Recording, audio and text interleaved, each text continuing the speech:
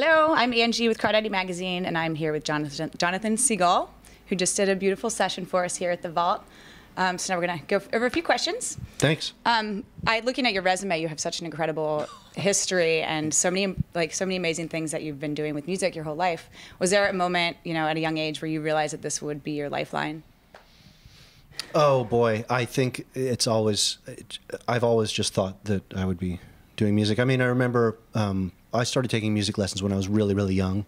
And despite, what was your main instrument? Well, uh, I didn't start playing guitar until I was seven, but before that, I had like taken piano lessons in recorder, you know, and and had bad experiences with piano teachers like pounding fingers into yeah. pianos and stuff like that. But I think when I started playing guitar at seven, I I really uh, realized that I liked that, and then I started playing violin when I was ten because. Um, this girl, Susanna Stein, I was really into her, and she played Pop Goes the Weasel at our some break at school, and, and she plucked the string for the pop, and I was like, what a cool instrument. So, and now she is a, a symphony player in New York. Oh, fancy. Yeah, I know. So She's it's something good. you just always knew that you would be doing yeah, this. I remember drawing also draw, like drawing little pictures of like sort of like cousin it, you know, just only hair with uh, electric guitar and top hat and bat wings or whatever, like when I was little. Yeah, you should put those on eBay. Yeah. Seriously. Yeah, right. We'll be all over that. So yeah, I just it was just I just played music the whole time. Mm-hmm. When I went to college at Santa Cruz, um, I was studying music, uh, composition. Actually, I was actually at that point doing mostly chamber music and you know mm-hmm. orchestra music and stuff like that.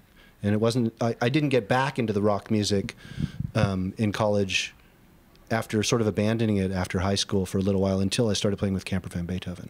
Yeah, well, Camper is you know one of your probably your most well known band. Yeah, yeah. And uh, you know you helped pioneer the underground radio rock radio scene of the '90s with that band. Can you speak to some of the early days of formation? well, we formed in Santa Cruz in well, actually, okay. The band had initially David Lowery and Victor and Chris Molla, Victor Krummenacher and Chris Molla had actually been in the band in Southern California on summer breaks for between college and. Uh, between semesters of college in 81, 82, I guess.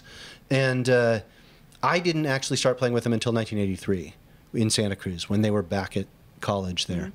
Mm-hmm. Um, but by the time we started playing in San Francisco in like 84, I guess, um, it was pretty much the punk rock scene. We were playing at, um, I think it was the Viz Club before it was the Kennel Club, before it was the Independent. No, hmm. before it was Justice League, before it was the Independent, and uh, the graffiti, which is now Amnesia, and places like this, mm-hmm. and Nightbreak on Haight Street. So we were playing a lot of like sort of rock and punk rock venues, and uh, you know we're coming up from Santa Cruz, and people are like, "What the hell? What's this underground stuff? What is this stuff?" Yeah.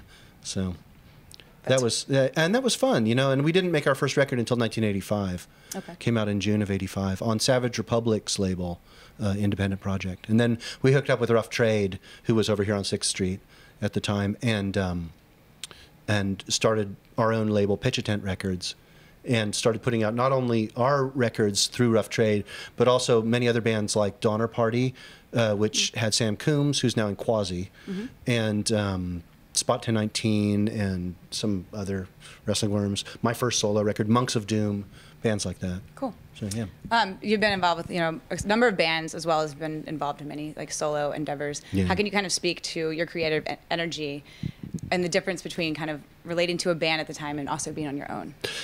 Yeah, it's definitely a it's definitely a different thing. I mean, in camper, um, I mostly play violin. Uh, I do some keyboards and some guitar, but we have David Lowery, who's able to strum and sing like a demon, so I don't need to do that in that band. Mm-hmm. And Greg Lisher, who plays lead guitar like nobody else. And so I basically get to fulfill a sort of color role, I think, more in that band. And that's fun. But it also, um, having done that for now 27 years or something like that, I, I sort of know what it is that I need to do to be a band leader. And it's quite different than being that role. Mm-hmm. Um, you know, strumming and singing if you're the focal point of a song, is definitely a different role. Um, when I played in Sparklehorse, it was similar. Like Mark uh, Linkous sang and strummed the guitar, and I had a little ring of things around me. I had a keyboard and a glockenspiel, an electric guitar, and a violin. And so I would basically be everything that wasn't the guitar and wasn't the rhythm section was what I did mm-hmm. in that band.